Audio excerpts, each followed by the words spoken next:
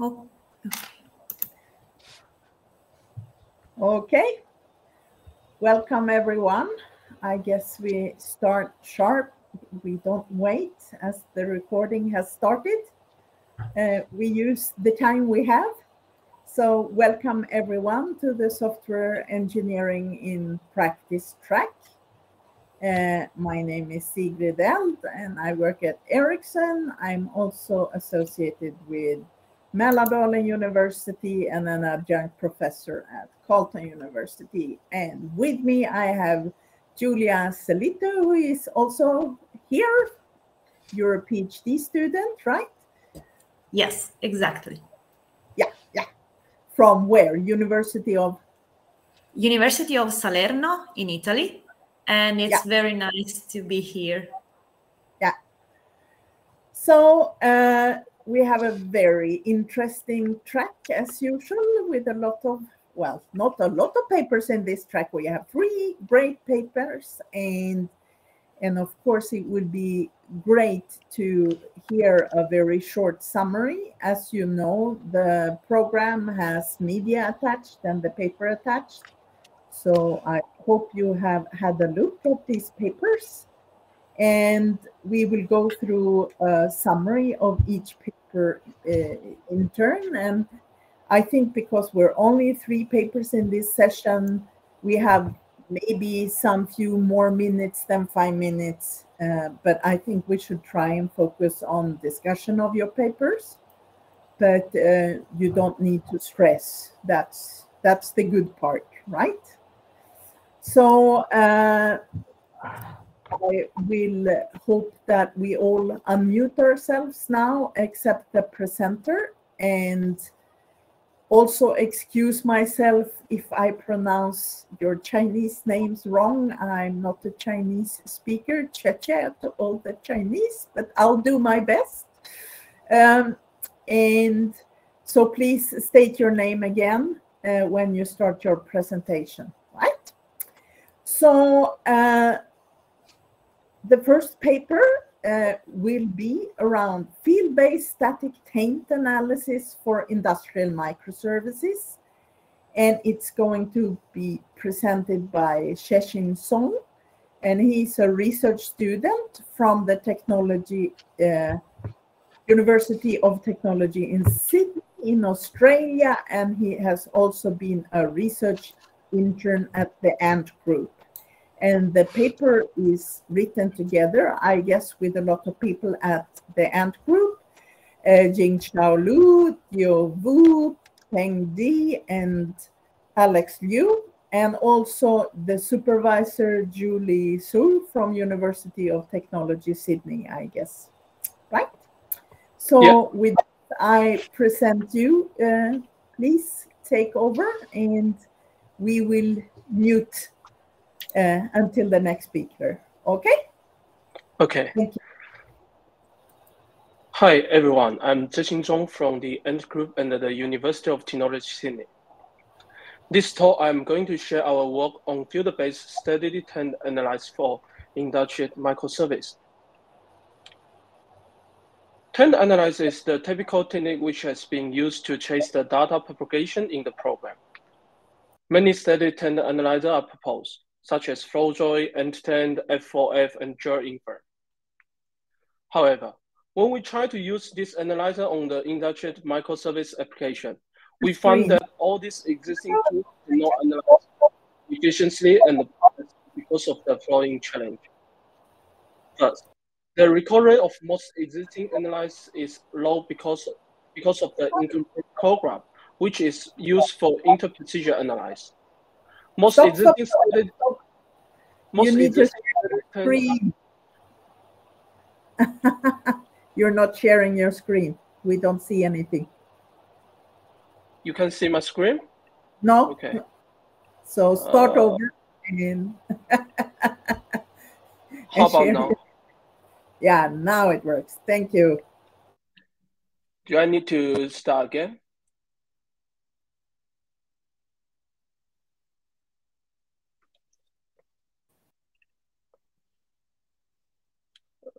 Do I need to start again from the beginning?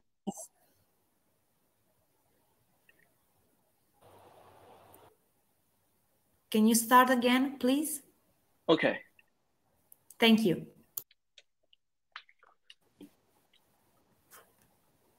Hi, I'm Zexin Zhong from the Ant Group and the University of Technology Sydney. This talk, I'm going to share our work on field-based steady-state analysis for industrial microservice. Taint analysis is the typical technique which has been used to chase the data propagation in the program. Many static taint analyzers are proposed, such as FlowDroid, EndTend, F4F, and JIRInfer. However, when we try to use this analyzer on the industrial microservice application, we find that all these existing tools cannot analyze efficiently and precisely because of the following challenges. First, the recall rate of most existing analyzer is, is low because of the incomplete code graph, which is used for interprocedure analysis. Most existing static taint analyzer run their analysis based on the build code graph. However, it is hard to obtain the complete code graph statically in the microservice application because of the usage of the complete framework behaviors. Even though we can supplement the code graph by manually modeling these framework behaviors, it is costly to it's, it is costly and uh, time consuming, and it is hard to guarantee all framework behaviors are property mode. If any behaviors is missed, the color color relation were also missing in the generic code graph, and the recall, the recall rate of the taint analysis will reduce. Scalability is another obstacle for static taint analysis. Even though it is possible to get a sound and precise code graph, the obtained code graph will be very huge because of the large scale of the microservice application. It is cost and it is costly to run precise context-sensitive interprocedure analysis on such on such large large-scale code graph. What is what is worse? The memory usage could be overly huge if the help is abstracted precisely for instances with field-sensitive analysis. Precision is another significant concern for static taint analysis. The analysis result of most existing tools are usually overtainted due to the lack of taint checking in complete container like map, list, or JSON object. To solve this challenge and make the taint analysis available for the microservice application, we propose a field-based static taint analysis solution. Compared to the field-sensitive analysis, our field-based analysis relies less on the per-build graph, which could provide better scalability and the recall for checking sensitive data. The field-based analysis doesn't distinguish different instances of the same type, but distinguish field of the same kind. By merging all usage of the field in the microservice, we are able to perform the interposition analysis without the per-build program. For example, in this case, the sensitive field of the class mode is seen as the same everywhere in the program, which will be merged in the field-based analysis. Therefore, why existing analyzer fail to find the data leakage at the inter interceptor when the interception mechanism defined in Spring XML5 are not property mode? Our field-based approach could still find the sensitive field that propagate to the log in the interceptor without any modeling of the interception mechanism.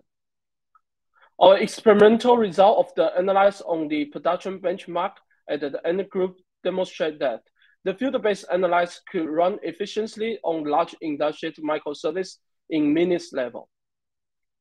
It is also worth to mentioning that our investigation into the industrial application found that each field usually represents a concept that keep unchanged in all its usage in the application. Sensitive data is usually propagated among the fields assigned with a specific concept. These phenomenon undermine the precision loss of the field-based analysis compared to the field-sensitive analysis. Furthermore, we also improve the position of our tools by modeling the operation of the frequent, frequently used container to support the field-based algorithm to chase sensitive data precisely within container. In conclusion, we have introduced three ch challenges for static taint analysis on large industrial microservice. the low recall rate that caused by the unsigned code graph because of the mist of framework behaviors. The scalability challenge which result in the costly in both memory usage and the time consumption. The, the precision challenge that caused by fail to checking sensitive data propagation among complete container precisely. We have proposed our field-based analyzing approach which doesn't distinguish different instances of the same type, but distinguish field of the same kind. It relies less on the produced graph than field-sensitive analysis. In our field-based analysis, we also improved the precision of the analysis by modeling the operation of the frequently, frequently used containers. This is all of our talk. Thanks for attending.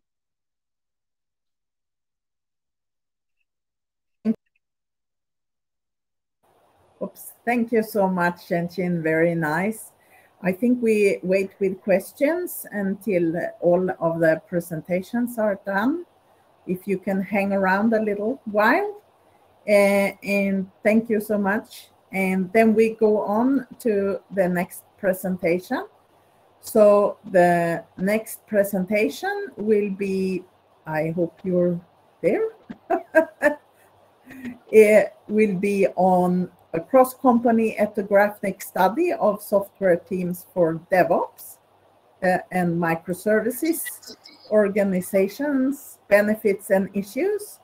And it will be presented by Xin Zhou from Nanjing University, together with uh, Wang Wang, Hizang, uh, Qingwang, Dong Chao, and Chenqing Zong. I hope I did this right. Otherwise, you have to correct me. uh, so it's uh, a study made, I guess, in the State Grid Nanjing Power Supply Company, right? So please, Ching, share your screen and you have five minutes and and, and the rest of the audience, please uh, post questions uh, meanwhile in the chat or save them for after presentations. Thank you. Okay. You're welcome. I share my screen.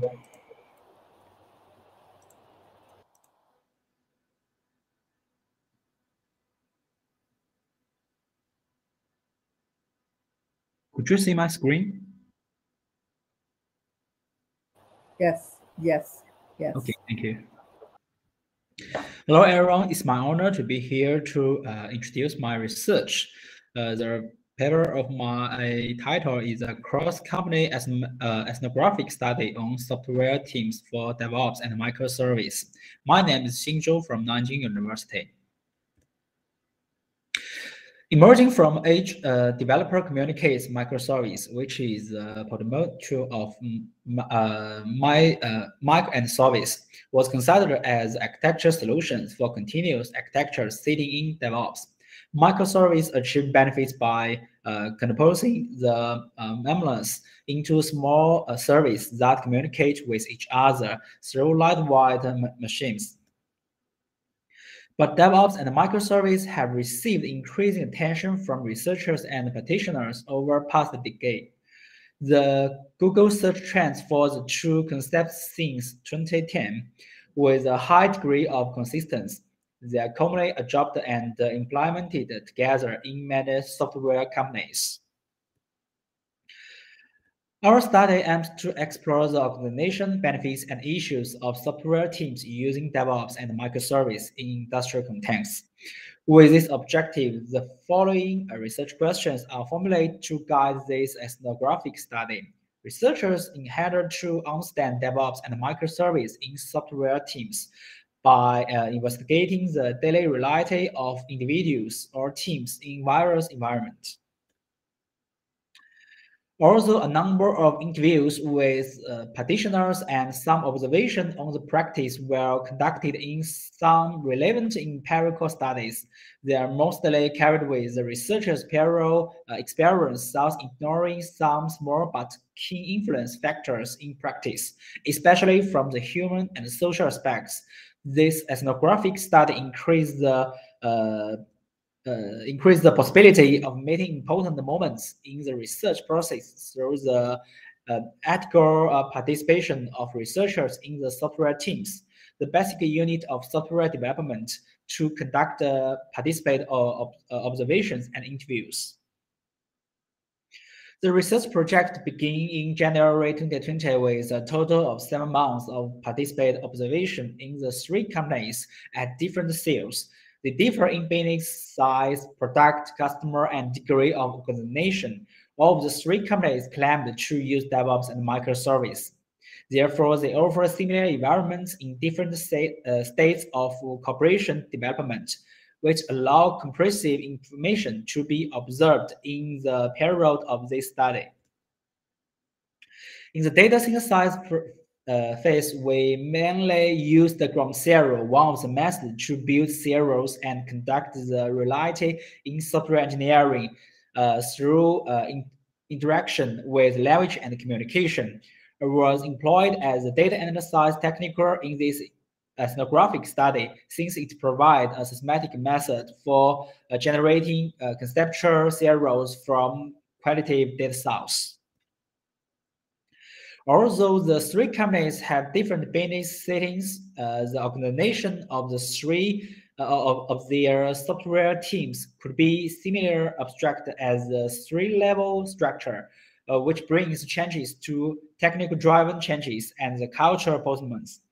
We need uh, we need uh, uh, visionary technical uh, drive organization. The technical uh, innovation requires a four-level chain of group uh, group team, department, organization. On the top of two level, technical is often not the top concern and the option to solve this problem.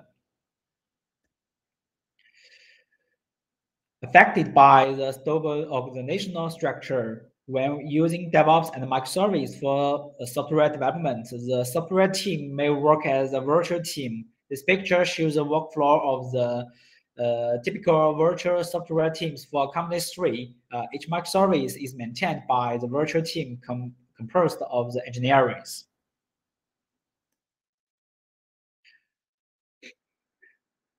Repeat intonation and deployment are the major benefits from the uh, perspective of the organizations, which allows them to create view, view to make quickly.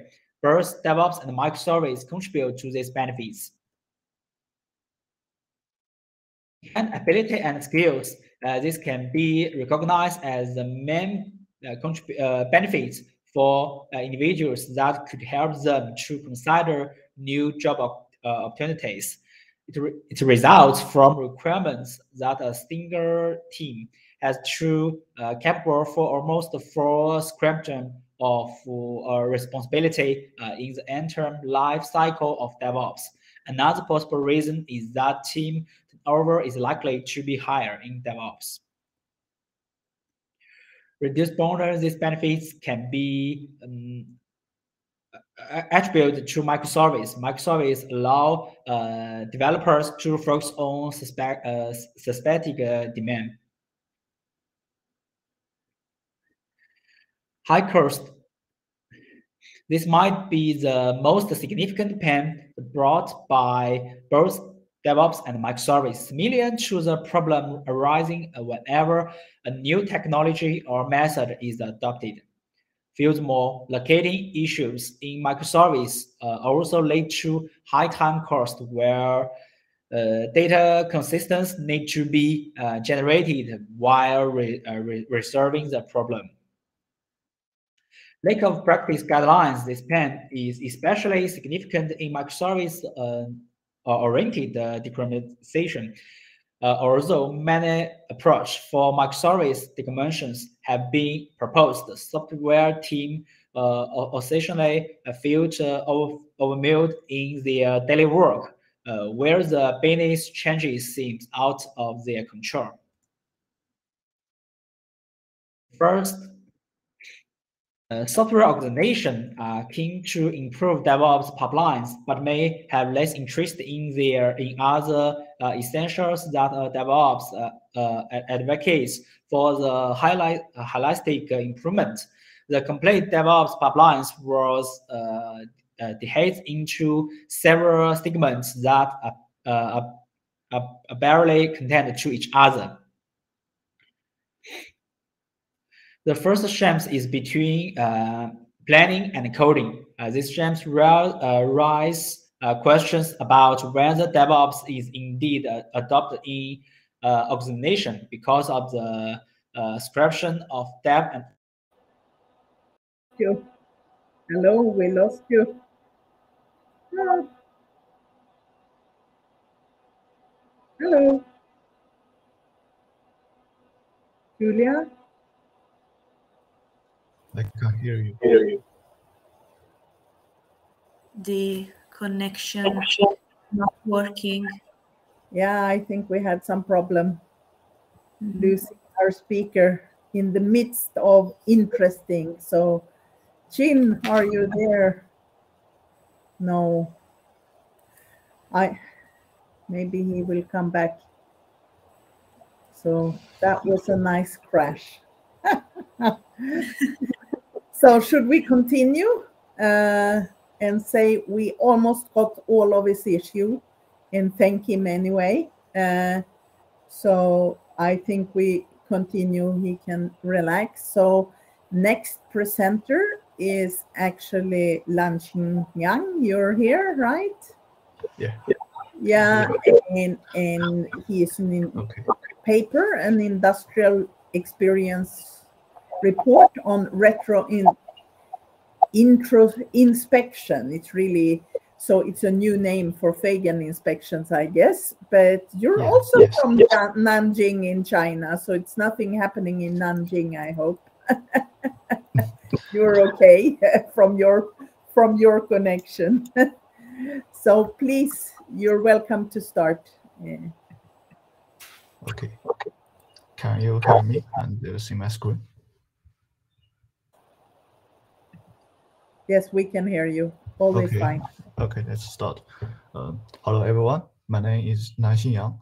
I'm very glad to have the opportunity to report on our paper, uh, industry experience report on ritual inspection. Sorry. Let me start by giving some background information of ritual inspection, the enterprise-specific practice for software quality assurance.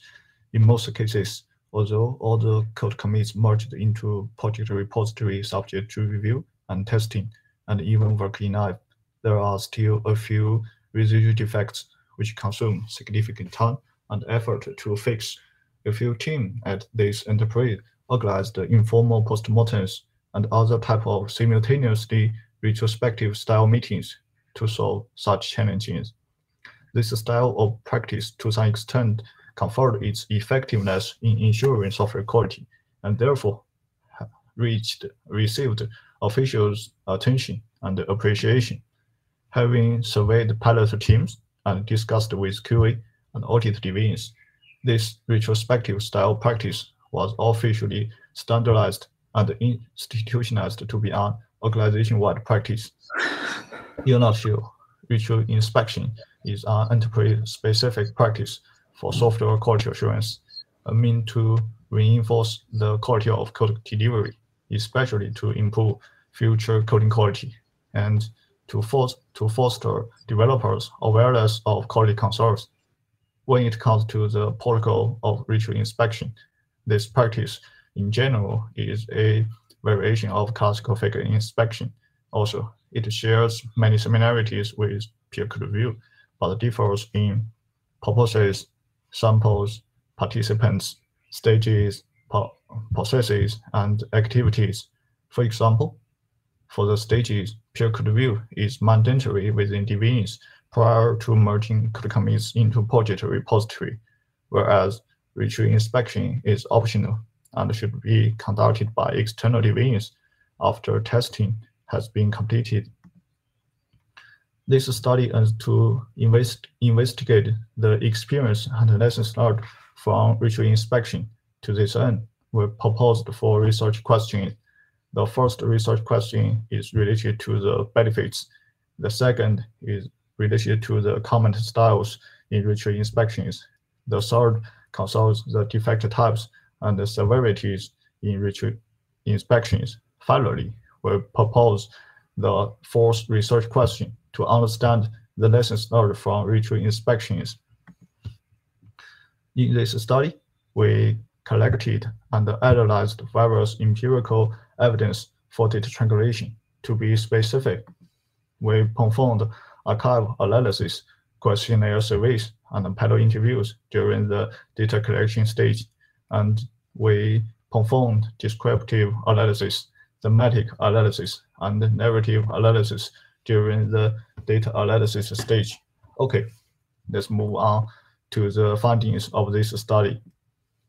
For the first research question, we found that in addition to its major function, code quality assurance, especially for future code quality, ritual inspection can contribute to side benefits such as internal audit, internal deviant communication, and additionally play a role in cultivating prof professionals such as developers and reviewers.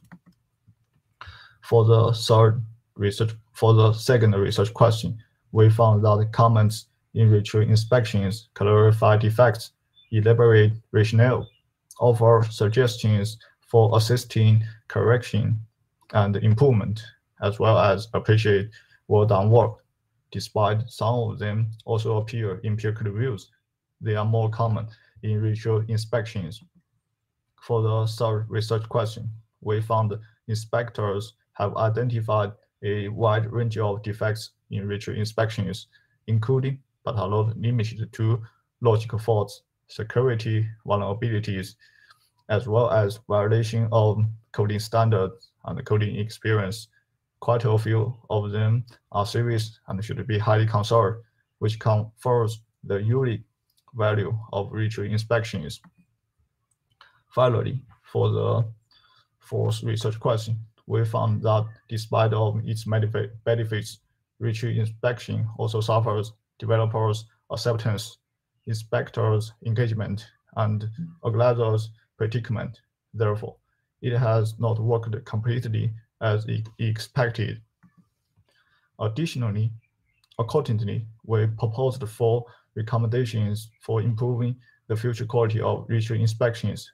The first is strict, st stricter admission criteria for the projects to be inspected. And the second is more adequate preparation for both the inspected deviants and the inspe inspectors. Otherwise, ritual inspection becomes a waste, followed by the longer inspection period so that each role can better complete his or her work. And finally, more careful publicity so that each role can benefit from ritual inspections.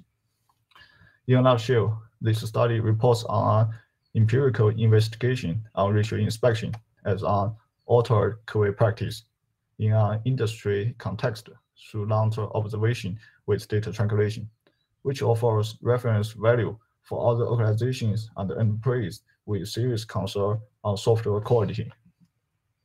Okay, that's all. For more details, please refer to the preprint paper or contact me by email.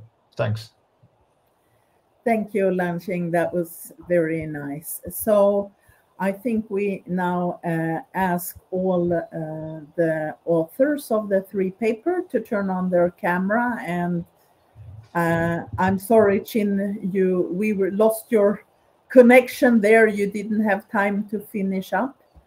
And I think we're ready to start our uh, discussion or questions. So my first question is, is there anyone in the audience who have a question? Please uh, unmute yourself and just fire away.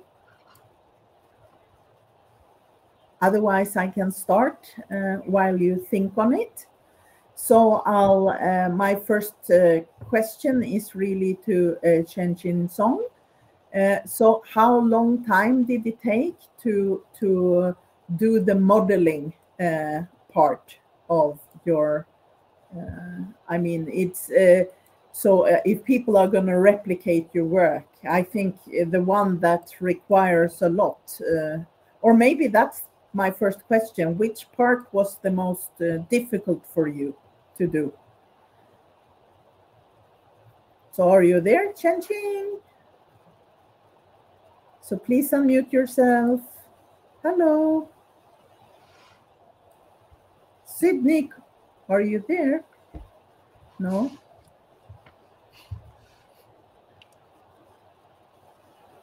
No, he's not. Yes, there you are. Do you hear me? Did you hear my question? Yeah, I hear your question. For the modeling part, you mean the Yeah, but overall, which- modeling or for the overall? overall, what was most time consuming for you and and how much part was how difficult you would you say the modeling part was? That's my question. Uh, how difficult for the modeling for the uh, Yeah. uh, container operation? yeah. Actually, we found that actually for the uh, container operation that only use like um,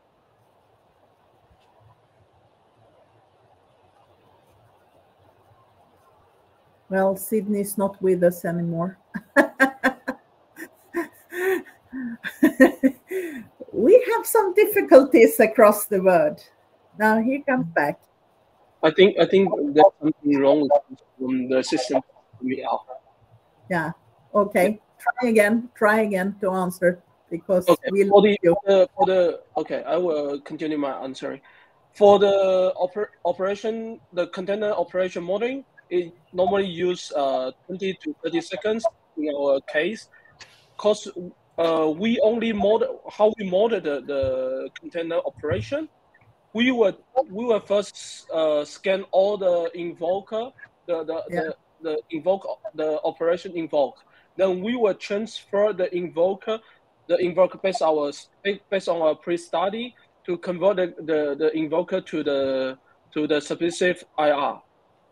Yeah, okay. Then we will use that IR to to like add the data to connect the data with the field. So it will not take a very long time, only Okay. just 20 to 30 seconds. So it's not such. I mean, you talk about scale, but it the size is not that huge. It wasn't like millions of things to do, or it was. It's more in the thousands, so you could manage. Do you understand my question? Yeah. Okay. Yeah. Okay. Because I thought it looked very good, except I I would find it very difficult in my system at Ericsson to replicate your work. I mean, only maybe on small parts. So, yeah. Okay. Thank you. Thank you. So uh, we go to uh, Chin Chu. Are you there? Uh, you got cut off there, but you had a, such an interesting uh, talk around uh, how people changed and the cost of changing and the issues. Uh, so my question to you, could you could you unmute yourself and or do you hear me? Are you there? Jinju? No? well, say hello when you're back, right? If you hear me. So uh, we move over then to Lang Ching. Uh, so I'm very Okay. curious about uh, the inspection review. Um, yes. because at uh, I'm in my experience, so I worked like uh, 30 years in the industry, and in the 90s, so I'm an old person, but it was really popular to do inspections, right? And Yeah. we did a lot of inspection, but this was abandoned because people thought the time or cost to find the defect was too much. It was too much control. So so I know code reviews are popular, but I saw one of your warnings not to have too big stuff. Do you think it's an effective practice uh, to really do inspections or retro inspections? Uh, yes, of course. Uh, and as I as I mentioned in the earlier, um, Yeah. even though all the code commits merged into purchase repository, there are Yeah. some defects hard to detect because of Yeah. uh, the general uh, code reviewers or code Yeah. authors hard to find these um, defects. So Okay. I think I think um, the um, retrospective uh, Yeah. inspect re, re- retrospective style inspect, inspection is worth Better. is worth doing. Okay. Um, So, so then I follow up with the question, do you think that uh, if you automate so people are more anonymous uh, as code reviewers, do you think that would help uh, if you had like an automated uh, inspection and you assign code reviews anonymously to people so they can really sort of tell what they want and not get personally uh, you know, do you think that would be a system that would help? Uh, that would encourage more defects and more comments? Do you um, understand my question? Mm, pardon, please. so if you Sorry. automate the assignment Oh. to persons and they would be anonymous, you know, so it's not a person, the system would assign an inspector, right? Yes. Do you, do you think that would be helpful to have more defects and more comments because you would get Okay, sort of praise. okay, okay, I get it. Okay, I Yeah. get it.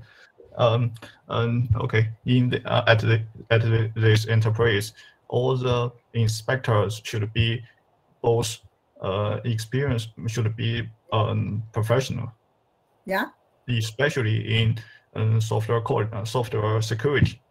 yeah, So- yeah, um, um, since they are in, they are being invited in retro inspections, they have more expertise and experience, so they have the more chance to detect the defects. Yeah. But if you do it anonymously, like you don't name the person, do you think that would help? Like uh, you you don't do it, you do it online and you do it, you know, hidden. I, You see what I'm saying? That that would encourage more defects and more comments. um, I see. Okay, this is also the uh, current shortcomings of retro inspections. So uh, during our collabor- collaboration with this and this uh, enterprise, I have um, proposed some recommendations for improving the future quality of retro in- inspections.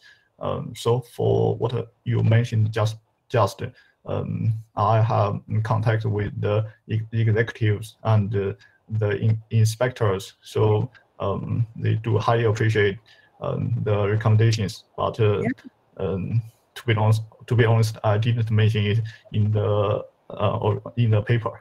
So I guess uh, it is a a very good um, suggestion. Yeah. Okay. Thank you. Thank you. Uh, thank you. So, uh, Chin Chu, are you there? Could you unmute yourself? Yes, I'm here. Yeah, good, great. So, sorry, is unstable. Too. Sorry. for the poor communication.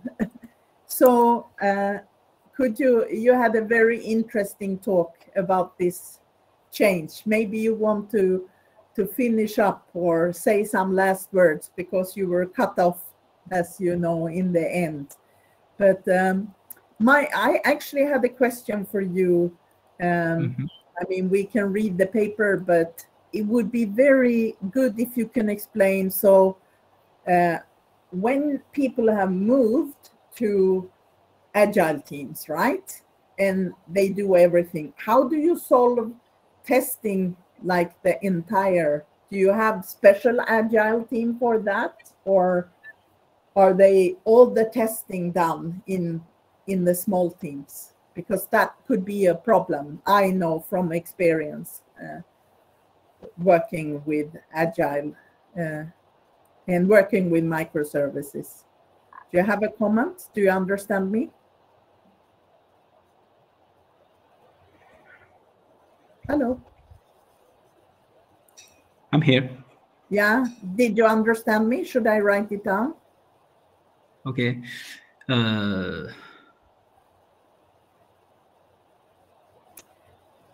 So my question was how you handle system testing when you have an agile. Do you have a special agile team for that, or does everyone do testing in the small team? No, he's gone. gone. okay, this was difficult. yeah, he's back. I'm sorry. Yeah, I dropped again. yeah. So, are is it okay for you?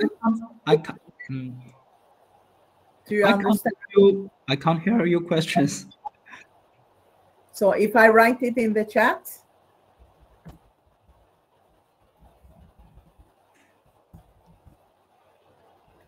Could you tell me the questions again? so how do you manage the system testing? Is it a special agile team or does each team do it? So it's in the chat as well. Mhm, Okay.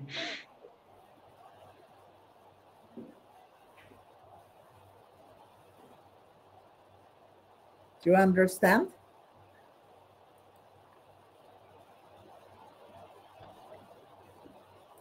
I know this was maybe not the core of your investigation. First, about the GANs and the PANs uh, also report in our parallel studies, uh, which guessed that the DevOps uh, implementations were uh, observed at the three companies uh, Yeah. uh, to some extent was uh, common to others uh, in many uh, in many teams. Okay. Okay. So is there anyone in the audience who have a question? Please put it in the chat. No? Come on. Esther, Angelo, Andrea, Janet, Tim, Cesar. Come on. Japan. No? No questions?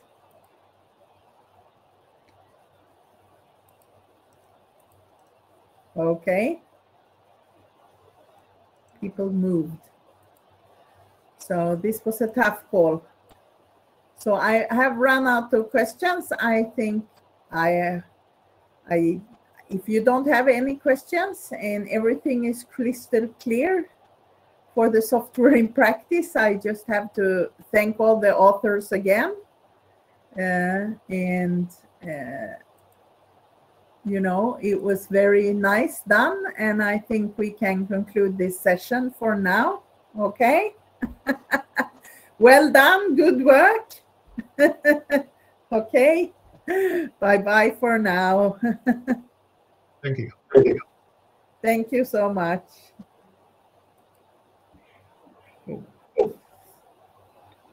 Thanks for holding this. Yeah. I would stay here and chat anyway for the last 15 minutes, but you're free to leave. I don't Okay. know why the system dropped. Now everything works, right? typical, typical. Okay. Hope to see all, uh, all of us in the next year. Yeah, yeah, yeah. Yeah, I'm looking forward to see you in Melbourne.